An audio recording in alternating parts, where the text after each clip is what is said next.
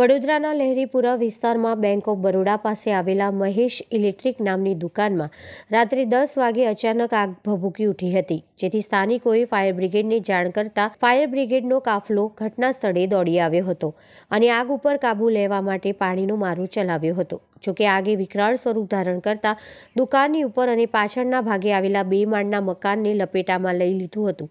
જેથી brigade call જાહેર કરવામાં આવ્યો હતો અને ફાયર બ્રિગેડની દસ ગાડીઓએ વારાફરતી પાણીનો મારો ચલાવી એક કલાકની ભારે જહેમત બાદ આગ ઉપર કાબુ મેળવી લેવામાં આવ્યો હતો. આ ઘટનાના પગલે વડોદરાના mayor Keyurbhai Rokadia, deputy mayor Nandaben Joshi પણ દોડી આવ્યા. આગ લાગવાનું ચોક્કસ કારણ હજુ સુધી જાણી શકાયું નથી. પરંતુ ઇલેક્ટ્રિક સામાનની દુકાનમાં શોર્ટ સર્કિટના કારણે આગ લાગી હોવાનું અનુમાન છે. દુકાનના ઇલેક્ટ્રિક સામાન અને કેબલ હોવાથી આગે વધુ વિકરાળ સ્વરૂપ ધારણ કર્યું હતું. આગના કારણે મોહલ્લાની આસપાસના લોકો પણ એકત્રિત થઈ ગયા હતા. ફાયર બ્રિગેડ દ્વારા આગને કાબૂમાં લેવા માટેના ફોર્મનો છંટકાવ પણ કરવામાં આવ્યો હતો.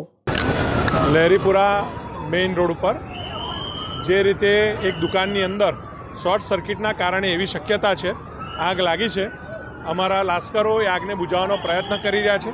આજુબાજુના બિલ્ડિંગમાં પણ નાની મોટી અસર થઈ છે, ત્યાં પણ અમારા લાશ્કરો જીવના જોખમે આગ બુઝાવવાનો પ્રયત્ન કરી રહ્યા છે. આપ જોઈ શકો છો, મોટાભાગની આગ કંટ્રોલમાં આવી છે. હજુ થોડી આગ બાકી છે, એ થોડી વારમાં કંટ્રોલમાં આવી જશે અને અહીં કોઈ બીજું જાનહાનિ જેવું કંઈક નુકસાન થયું નથી.